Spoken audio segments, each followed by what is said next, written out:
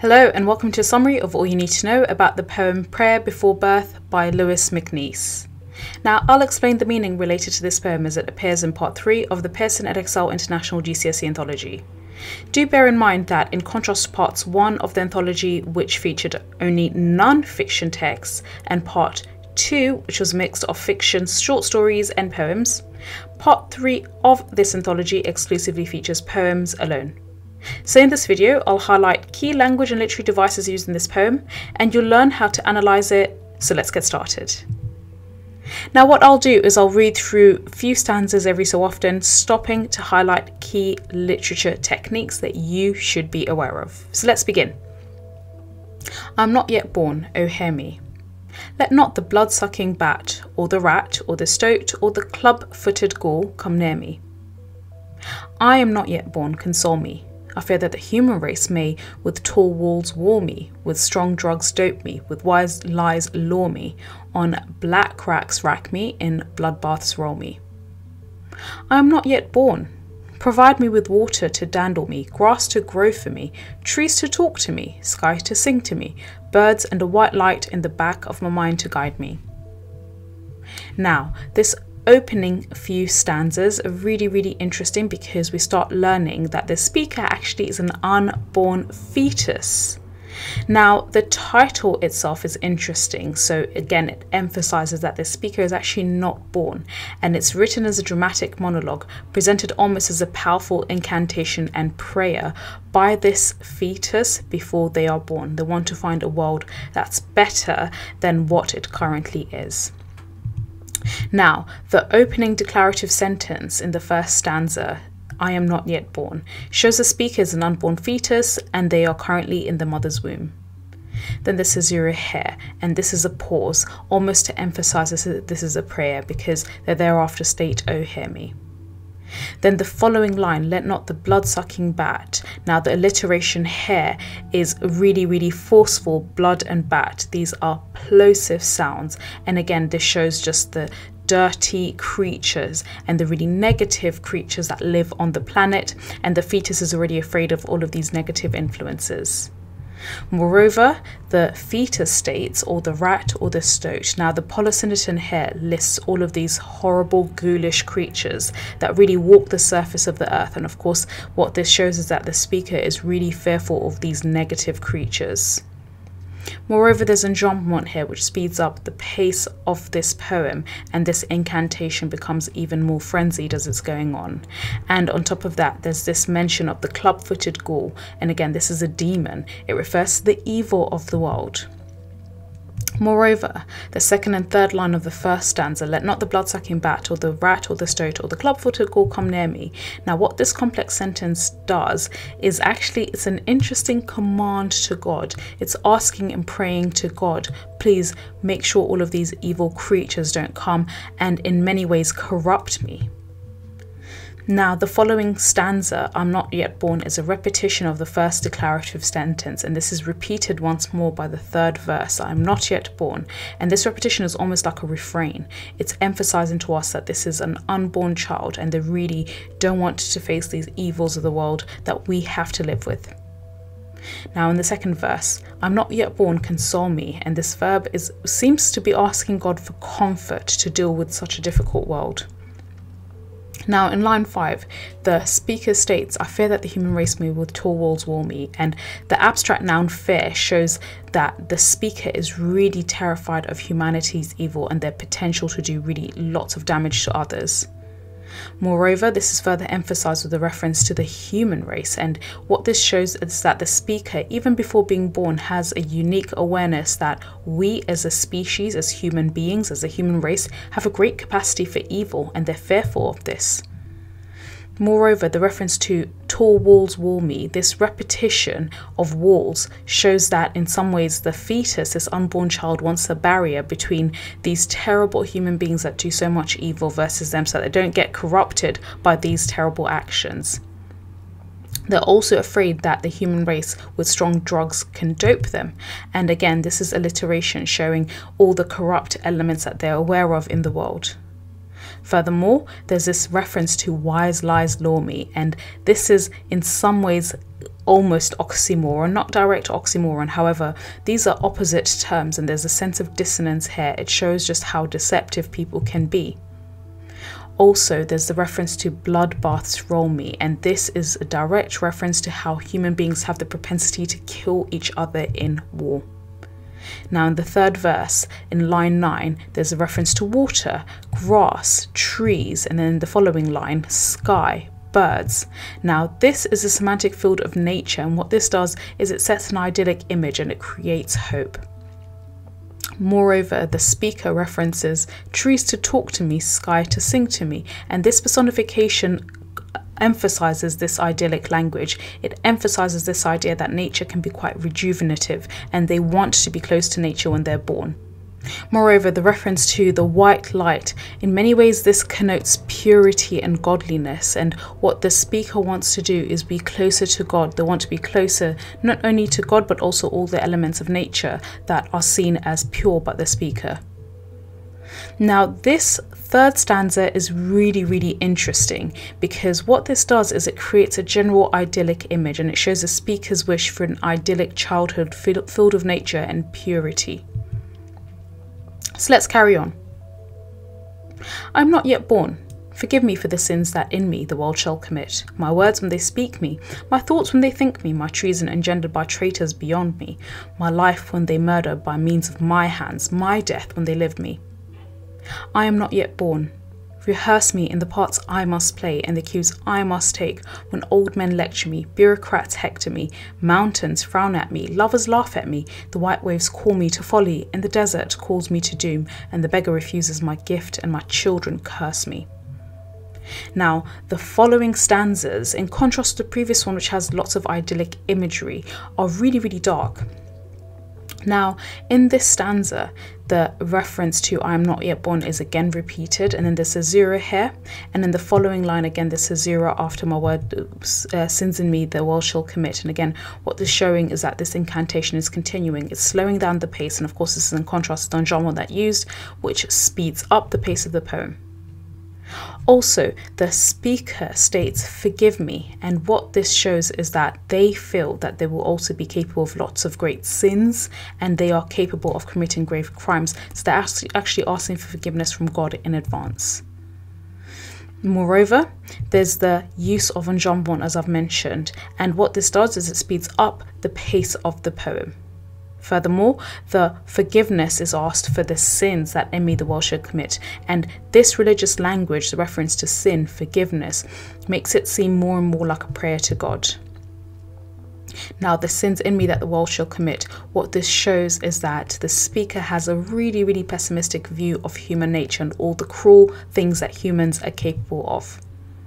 Now, in line 14, the speaker states, When they speak me, my thoughts when they think me. And this is interesting because it's non standard English. And what this does is it obviously shows how humans all are very intertwined. So even if the fetus doesn't necessarily feel like maybe they might commit sins, their actions are still indirectly affected by other evil people's actions. So when they speak me, my thoughts, when they think me, when other people think bad thoughts, they too think bad thoughts because they are part of the same human race. Moreover, there's a repetition and constant reference back to the first person pronoun, me and my. And what this shows us is that the speaker takes responsibility for playing a part in the destruction that humanity wreaks and the havoc that humanity wreaks on the world. Now, in line 15, there's a reference to treason and traitors, and what this shows is the betrayal that we're all inherently capable of. Moreover, there's the reference to the murder by means of my hands, and the speaker really is showing here that they believe that humanity will influence them to do evil. Moreover, there's the use of the oxymoron, death and life. And again, what this shows is that human beings have the capacity for beauty, for life, but also they have the capacity to do great evil, to cause and commit death. Now, in the following verse, there's a reference to rehearse me. And this is interesting because it's almost this idea that they want to be able to rehearse life like a play before they're born, whilst they're still a fetus. They want God to help them rehearse the perfect life. And this is an indirect allusion by the writer, by the poet, to Shakespeare's play As You Like It, where one of the characters called Jacques states, all the world's a stage. And again, this is a metaphor for how life is almost like a play, and we each are characters within this play of life. Now, in line 19, this metaphor is extended in the parts I must play and the cues I must take. And this extended metaphor shows that we humans are actors in God's play of life. Moreover, in line 20, there's a reference to old men, bureaucrats, men, mountains. And further on in this verse, there's a reference to lovers, a reference to beggars. And these are all different characters who are casted, and this these different characters play a role in the human play of life.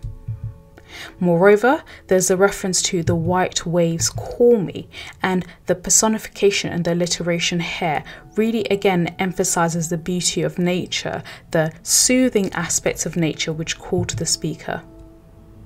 And the speaker then references how my children curse me. And the alliteration here shows that this unborn child is also aware that their own progeny, their own children, will be angry at being born into this violent and evil world, just like how maybe they are going to be feeling really, really sad, really anxious, and quite angry at also being conceived and being born into this evil world. So let's continue. I am not yet born, O hear me. Let not the man who's beast or who thinks his God come near me.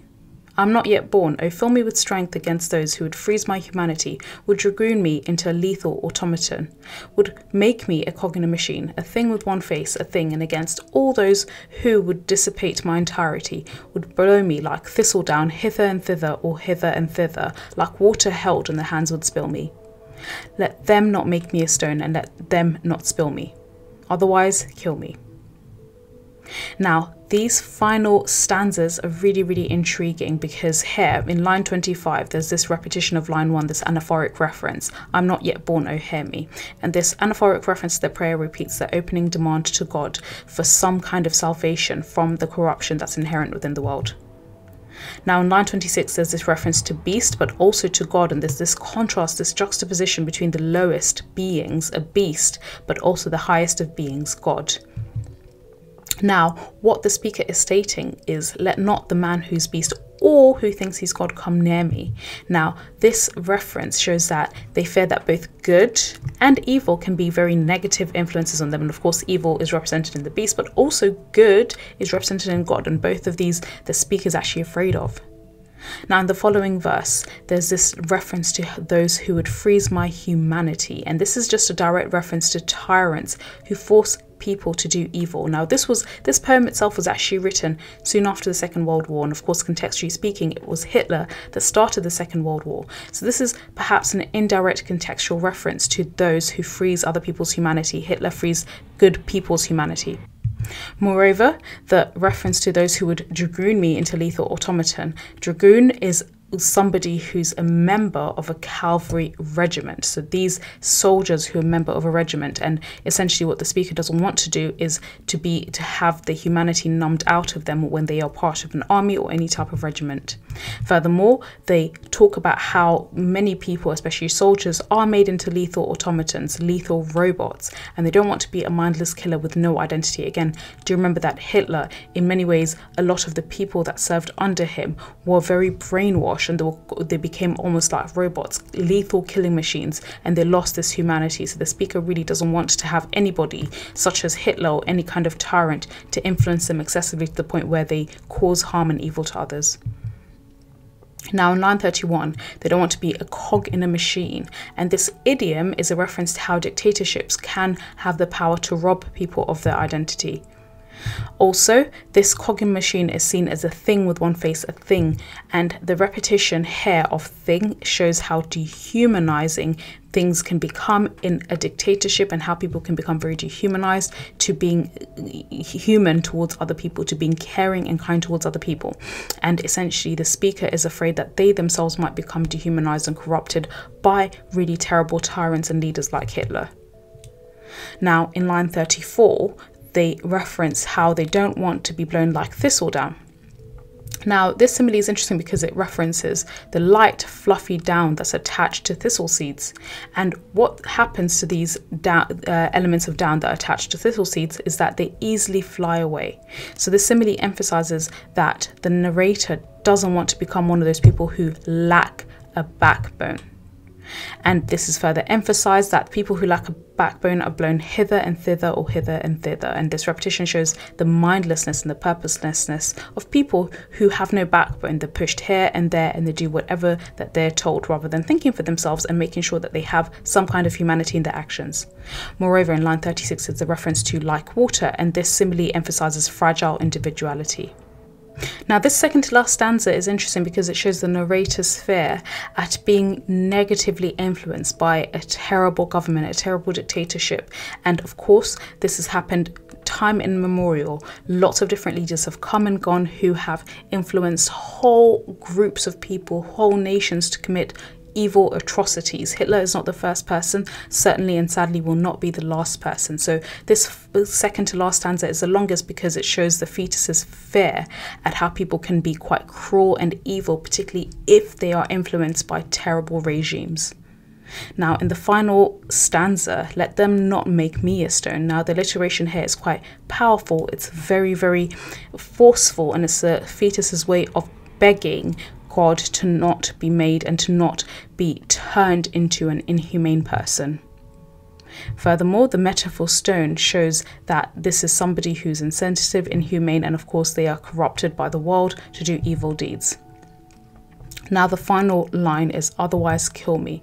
And this is a really shocking request because essentially, in other words, this is a request for an abortion. If the narrator is saying the fetus, this unborn fetus is saying, if they are turned into someone who does these things, someone who becomes a mindless, lethal automaton, they'd rather be killed now.